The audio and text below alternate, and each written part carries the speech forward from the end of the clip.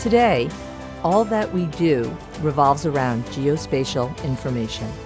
Geospatial intelligence, or GeoInt, encompasses the insights from spatial data that describes, assesses, and visually depicts human activities to bolster decision making processes. This rapidly growing field integrates technical expertise from geospatial science, security and defense, data science, systems engineering, and more. We developed the state of Maryland's first ever graduate program in GeoInt.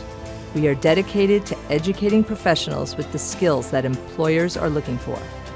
Our program is affordable and flexible for the working professional. Classes are held in the evenings and are offered in both hybrid and online formats.